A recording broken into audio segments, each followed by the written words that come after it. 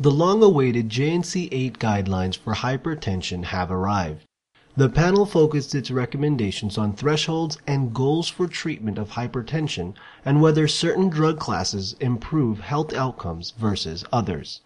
This video will give you a quick run-through of the nine recommendations made by the panel.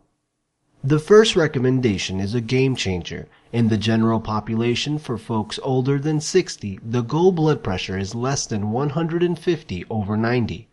If, however, the blood pressure on treatment goes lower, such as less than 140, and there are no adverse effects, treatment does not need to be adjusted.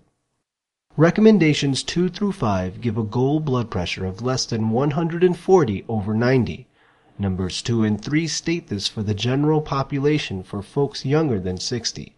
Recommendation 4 gives this as a goal in patients over 18 with chronic kidney disease, and number 5 does the same for patients with diabetes.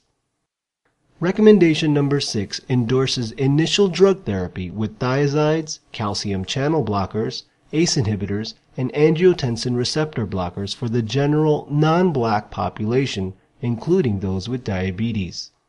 In the general black population, again including those with diabetes, recommendation number 7 states initial treatment should include a thiazide or calcium channel blocker.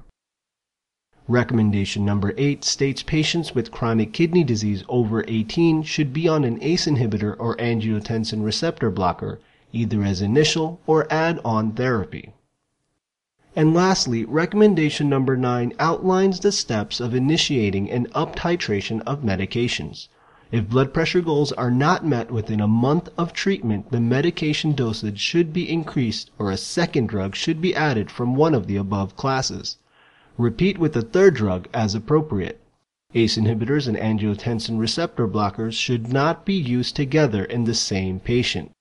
Further steps to reach blood pressure goals can include non-recommended drugs if there is a contraindication or if more than three drugs are used.